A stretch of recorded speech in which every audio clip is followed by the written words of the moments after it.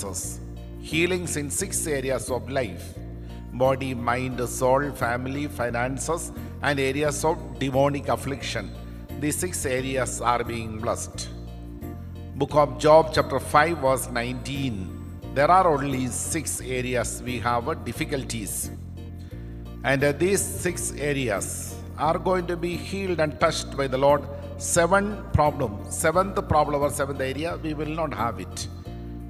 He will deliver you from six troubles. Some of you have a trouble in body, some of you have troubles in your family, some others have troubles in the mind. These are six troubles. Some of you are troubled by devil and demons, and some of you are troubled by your bad finances. So, book of Job, chapter 5, 19 says, God will deliver us. Is a promise. God deliver us from six troubles in our life. So I welcome to enjoy this deliverance that the Lord gives us in six areas of our life, as Bible says. Today we have a wonderful promise. The promise word is taken from prophecy of Isaiah 26 verse 12. God will give you peace. That is the first promise. I'll give you peace. Then there are certain areas you have difficulty to do some work or something. I will do your work because we are children of God. So God will do our work. So let us read together the promise word. Oh Lord, O Lord, you will ordain you will ordain peace for us. peace for us. For indeed, For indeed, all that we have done, all that we have done, you have done for us. you have done for us. So, whatever we supposed to do, we have always disabilities and also inabilities, imperfections, sins, bondages. We all have. In our difficulties and in our deficiencies, this is a promise word says, God will do it. God will do certain works for us. Then, if we are lost of our peace, surely God will give us peace. Hallelujah. Hallelujah. In the name of the Father, and of the Son, and of the Holy Spirit. Amen. Let us seek the intercession of Mother Mary. Luke chapter 2, verse 16. Let us worship Jesus together with Mary and Joseph. So we look to Jesus and with Mary and Joseph and angels and saints, let us worship Jesus. When we worship Him, when we worship Jesus, Exodus 23 25 will be fulfilled. The fruit of the worship is sufficiency, water, and food. I will bless your food, I bless your bread, I heal your diseases, and I bless your water. So we'll have sufficient water, sufficient food, and sufficient health in the body. Worship the Lord. You shall worship the Lord your God, and I will bless your bread and your water, and I will take sickness away from among you.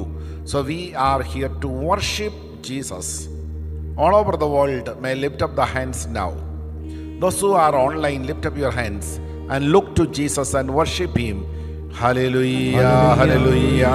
Worship with Mary and Joseph and angels and saints and all heaven and all Logosians around the world. Worship Him. Hallelujah, hallelujah, hallelujah. Hallelujah, hallelujah, hallelujah, hallelujah, hallelujah. Habalaha Raisholo Balaha Habara Salah Balaha Raisholo Balaha Habalaha Raisholo Balaha Raishala Balaha Habalaha Rasolo Balaha Rasalah Bara Salah Balaha Lord, we worship you. We adore you. All the promises we fulfill. Give us, Lord, your peace. You may help us to accomplish all our work. Hallelujah. Thank you, Jesus. Keep our hands down.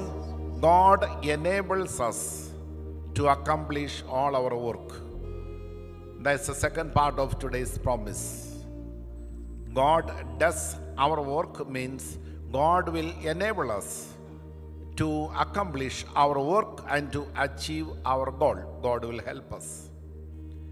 Mama Maria, beseech your son Jesus. For the The fulfillment of all our intentions. Mama Maria, beseech your son Jesus. For the fulfillment of all our intentions. Mama Maria, beseech your son Jesus. For the fulfillment of all our intentions. Mama Maria, beseech your son Jesus. For the fulfillment of all our intentions. Mama Maria, beseech your son Jesus. For the fulfillment of all our intentions. Mama Maria, beseech your son Jesus. For the fulfillment of all our intentions. Mama Maria, beseech your son Jesus. For the fulfillment of all our intentions. Mama Maria, beseech your son Jesus. For the fulfillment of all our intentions. Mama Maria, beseech your son Jesus. For the fulfillment of all our intentions. Mama Maria, beseech your son Jesus. For the fulfillment of all our intentions. Let us honor the name of Mother Mary and also respect and venerate this great name. Let us sing together a Marian hymn. As I kneel before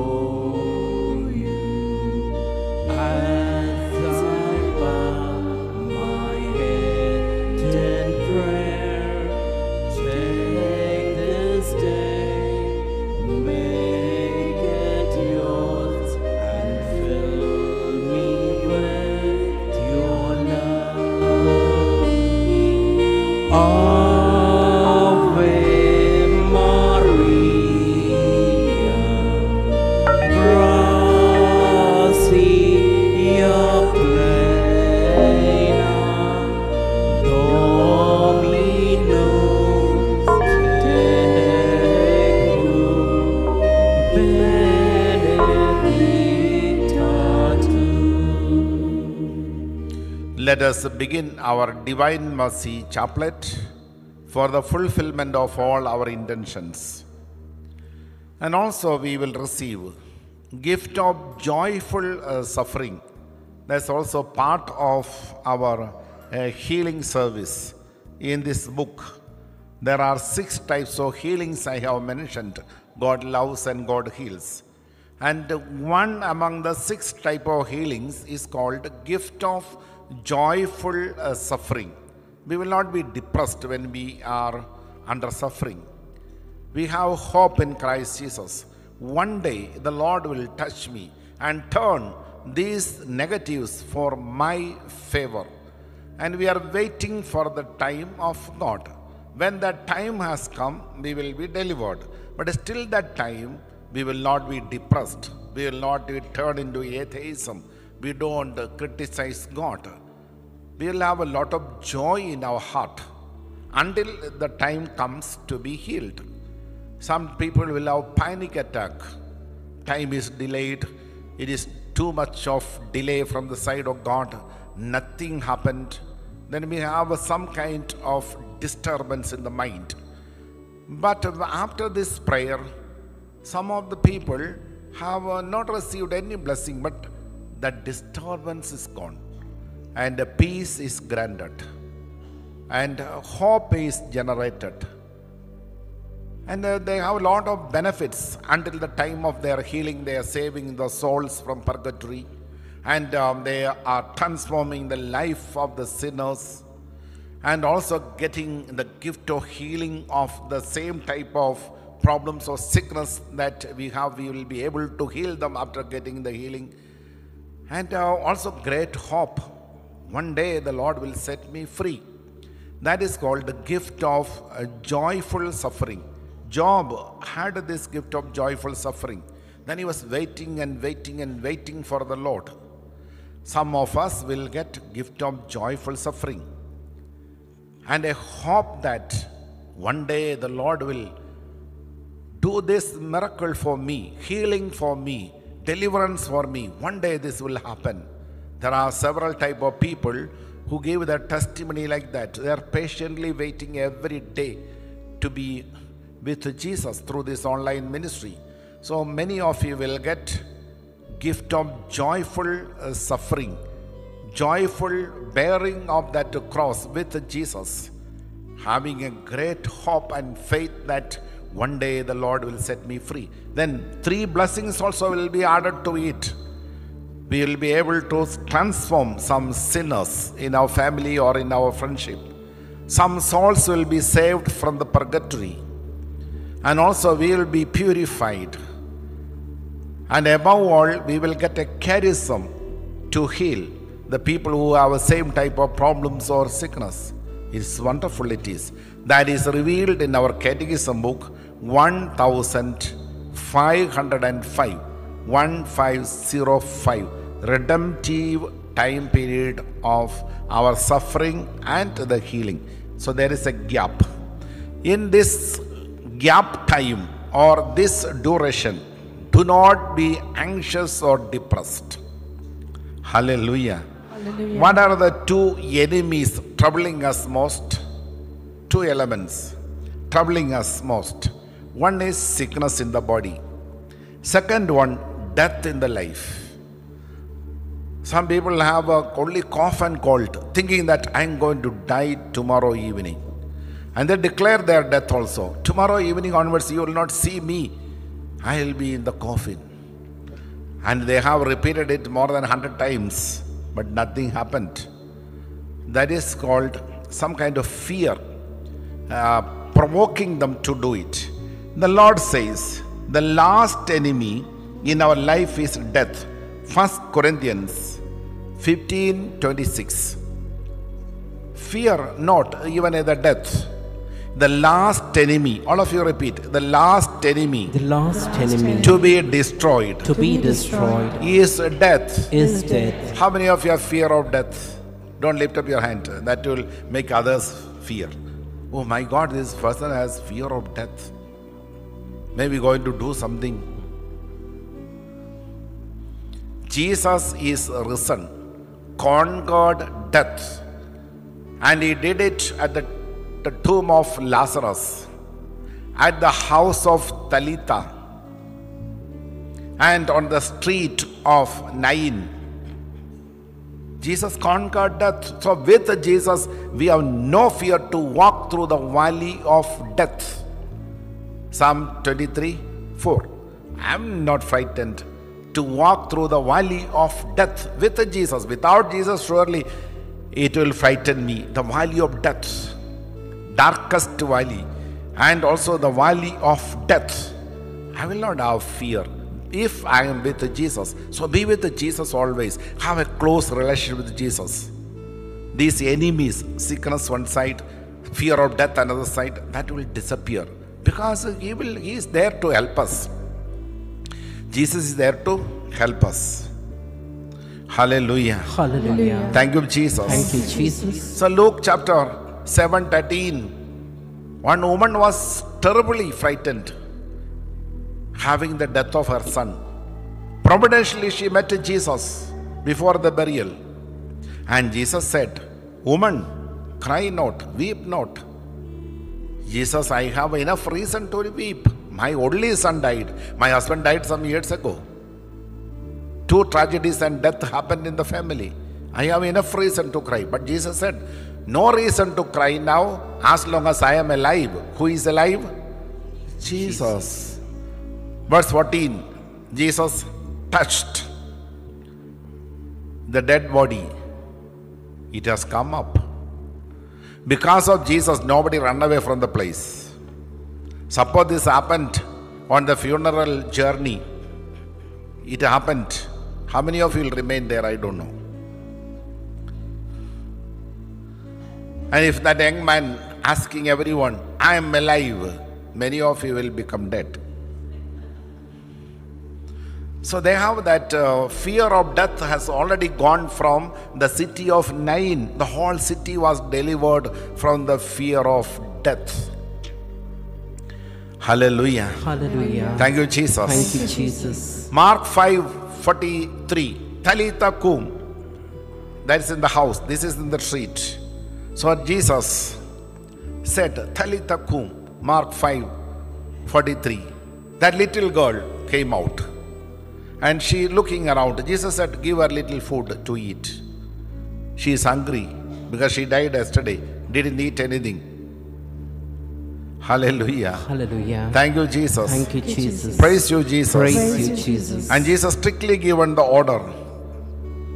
No one should know about it. And but something to give, eat. So this happened in the house. The dead body, dead girl came back to life. What Jesus said, 41, 541, Talitha kum, little girl, get up. Thank you, Jesus. Thank you, Jesus. Praise you, Jesus. Praise you, and Jesus. touched her hand. Talitha kum. So Talitha is being here, restored to life. What is the last enemy in our life to be conquered? Death. He did it. John 11 44. Lazarus come out. Lazarus came out. He came out. The dead man came out. His hands and legs were bound. Untie. So, deliverance is our ministry. Resurrection is the ministry of Jesus. Untying the person is our ministry. We have to untie the people. So, deliverance is going to happen in this hour. Healings are going to happen. It's all because of Jesus. And also, gift of joyful suffering until the time of our deliverance and healing. We will have a lot of hope and three benefits also in it. That also I have mentioned in this book, God Loves and God Heals. Please have it. And three categories of people may not be healed immediately. Page 106 in this book. Matthew 8 17. He took our infirmities, He took our sins, He took our diseases. Prophet Isaiah said, He took our infirmities and bore our diseases. In this aspect, you fear not the sickness. One day, Jesus will take it into His body from your body. He conquered the sickness. Matthew 8 17. He will bear it into His body. He conquered sickness. Matthew 28 6. He is not here, He is risen. He conquered death. And the last enemy that we have to conquer, that is death, he did that also. 1 Corinthians 15 26. In the name of Jesus, I bless by this wooden cross all your intentions. Let the Lord give you peace as he promised today. Isaiah 26 12. I will give you peace. I will help you to fulfill your responsibilities and achieve your goal. Amen. Amen. For the fulfillment of all our intentions, let us pray together the Divine Mercy Chaplet. You aspired Jesus, but the source of life, gushed for the souls, and the ocean of mercy, opened up for the whole world, O fount of life, and unfathomable divine mercy, envelop the whole world, and empty yourself out upon us. O blood and water, which gushed forth from the heart of Jesus, as a fountain of mercy for us, I trust in you.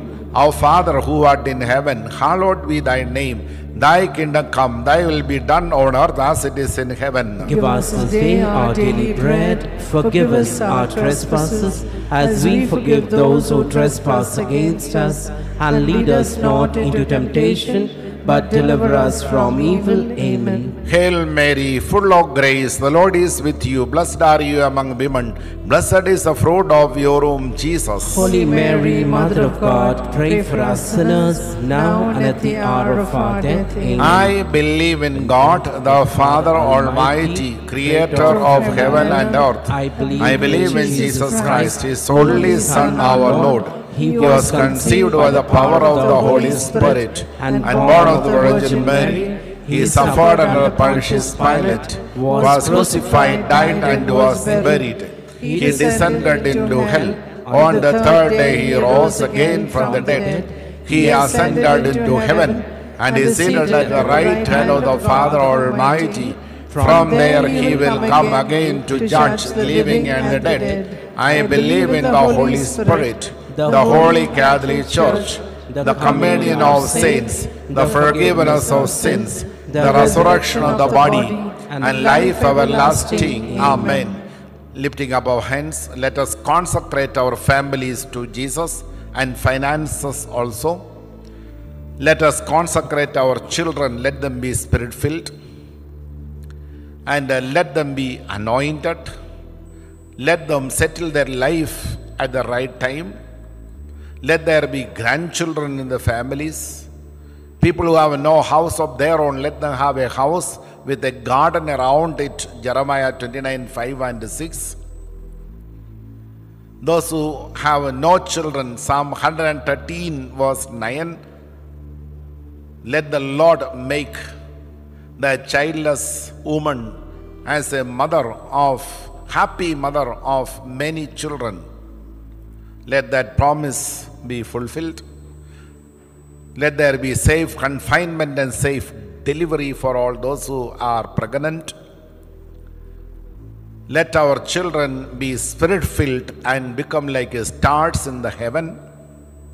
Eternal Father, I offer you the body and blood, soul and divinity of your dearly beloved Son, our Lord Jesus Christ, in atonement for our sins and those of the whole world. Keep our hands down, confidently pray. The Lord will enable us to earn enough wealth.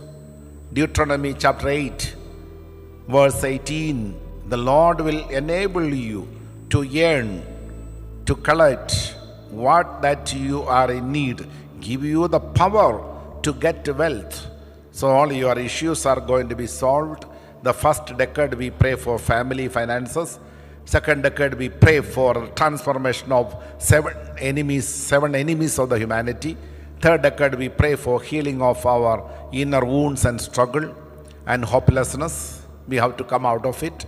Fourth decade we pray for physical healings. Fifth decade, we pray for anointing of the Holy Spirit. That means life must be guided by Holy Spirit. That is anointing. And every day we have to grow in this guidance of the Holy Spirit. That is called the fellowship with the Holy Spirit. So let us have fellowship with the Holy Spirit and relationship with Jesus.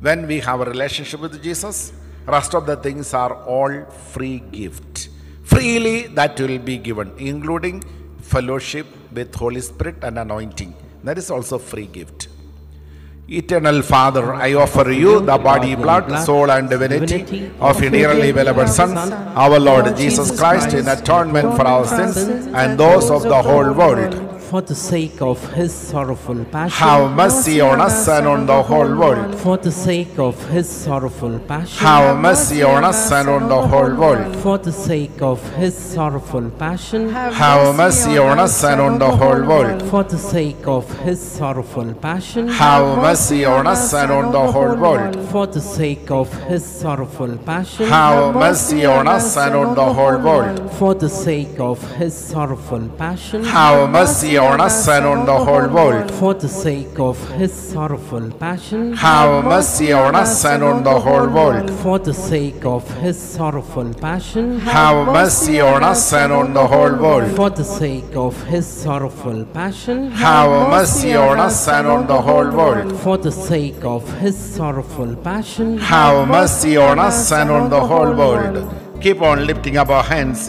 and sing together and glorify the name of Jesus in our family and with our substance. Proverb 3 9. With our substance, we have to glorify the Lord. With our wealth, we have to glorify the Lord. Lord, you are our joy and comfort.